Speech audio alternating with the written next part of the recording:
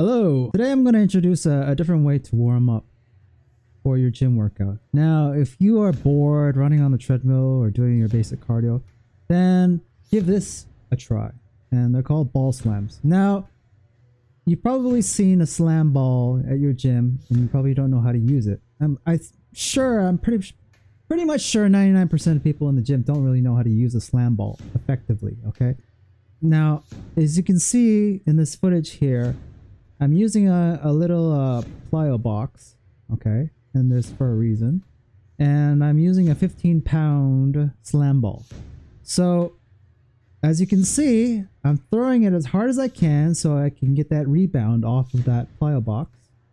And I can catch it midair. Now, the problem with throwing a slam ball on the floor, because like, there's no shock or rebound, is that you, you have to go down and pick it up again, okay? And then you just lose that momentum.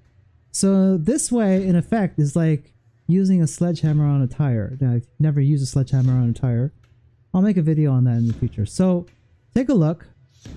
I'm throwing it as hard as I can and getting that bounce so I can catch it. So I don't lose that momentum. I just keep that speed going.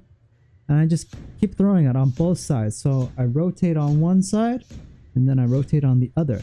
And then you can see I'm thrusting it Use from my chest downwards, okay?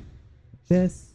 So you just alternate your rhythm between both, okay? So when you throw it from your chest, it's like sprinting. When you throw it from up high, it's it's like running, okay? So try one arm, try both arms. Just go at it, all right? Just slam it as hard as you can. Just keep going. Now, don't go for 5 to 10 reps like most people do. Okay, you're not to get any effect. You're not to feel the burn if you just do 5 to 10, which is what I see most people doing. So, keep going. So how many should you do? Set a timer. Try to aim for 1 minute, 2 minute, 3 minute, 5 minutes of this non-stop. Just going. Keep going. And you're going to probably end up doing 100, 200, 300 of these in a row.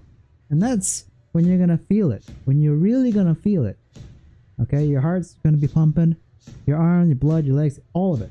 All right, and if you're not feeling it, then you're probably doing it wrong. So watch this footage over and over again, and let me know how it goes. Now, if you want to get personal training, or if you want to uh, level up your fitness, follow me and message me on my Instagram. Okay, right there, Justin Patrick Official and let's talk, okay? So, that's all I have to say in this video. Good luck in your training, and I'll see you next time. Bye.